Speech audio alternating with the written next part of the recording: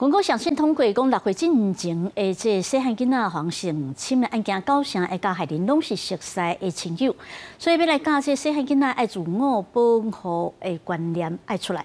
这社会团体研究一项讲，结合这红仔的教材，五万七会当支持萨基卡全台湾六千外间的幼儿园。尊重孩子的身体自主权。大声发口号，提醒社会大众尊重囡仔身体自主权。因为根据卫福部统计，每年差不多八千多件性侵害案件发生，其中零岁到六岁读册进前囡仔性侵害案件，构成加害者拢是熟悉亲友。我们教他们，哎，他们可以早一点好，然后有意识或者是知道怎么说，可是责保护的责任。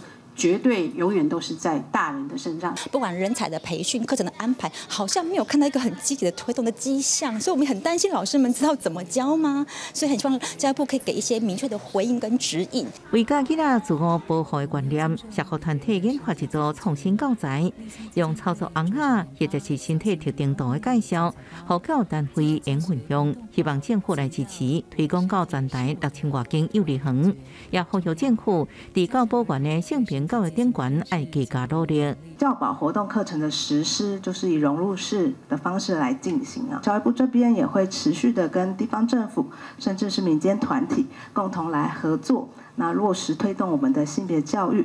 社会团体认为，真济自细汉和熟悉人性侵害的被害者，往往到大人了后才寻求协助、自伤。真济被害者甚至因为惊毋敢求助，最希望幼教老师能透过教材运用，互囡仔伫游戏当中学身体自主权的观念。记者综合报道。